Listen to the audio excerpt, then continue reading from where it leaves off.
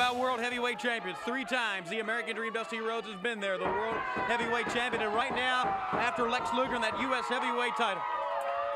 Well, to talk about the wrestling world right now, Dusty Rhodes, the American Dream, is the new, what they call it, the Weaver Lock. Well, let me tell you about Johnny Weaver, many years in the Mid-Atlantic area throughout the country, held many great titles. The major thing he used was a sleeper hold. Dusty Rhodes has been known to learn from experience.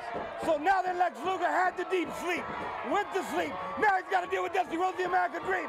I will be the United States heavyweight champion. Tully Blanchard, the Four Horsemen, they're having to deal with us more than ever right now. And the thing about the people in Denver, Colorado, Monday night, think about this. Now, you're in the middle of the weekend.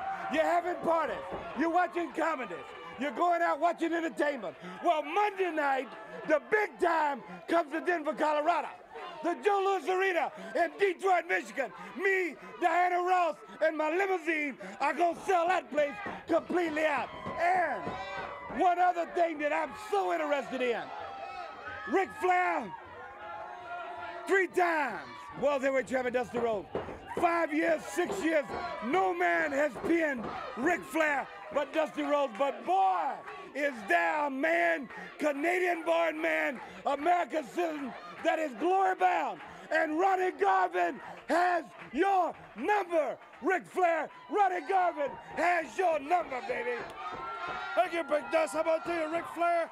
That is correct. I've got your number. I've got your destiny. I've got everything. You wanted me. Well, you got me. And now you find out that you got a tiger by the tail and you can't handle it because it bites, scratch, stomps, kick, does it all. And you can't get me tired. You can't slow me down. I'm going all out. And I'm going to tell you, September 25th, Joe Louis Arena in Detroit. I'm inviting my Canadian friends because I was born in Canada. I am now a proud United States citizen, but I still love Canada. After all, was my birth country. But I'm going to tell you something, Ric Flair. You and I are in a war. And I'm talking about a war. I'm talking about big time, the biggest time of your life. Talking about a million dollars worth of gold around your waist. And I'm talking about all you cherish in life limousine, women, money, glory. I'm going to take it all away from you. And that's a war that nobody, Jim Crockett, NWA, or anybody in this world can stop. And I'm going to tell you when it's going to come to an end. As one of us will go down, and it's going to be you because I'm going to tell you, I don't find out when I put my hands on you.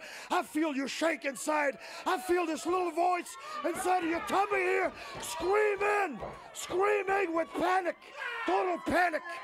Well, it's too late. You wanted me, you got me, you're going to deal with it, and you're going to pay for it.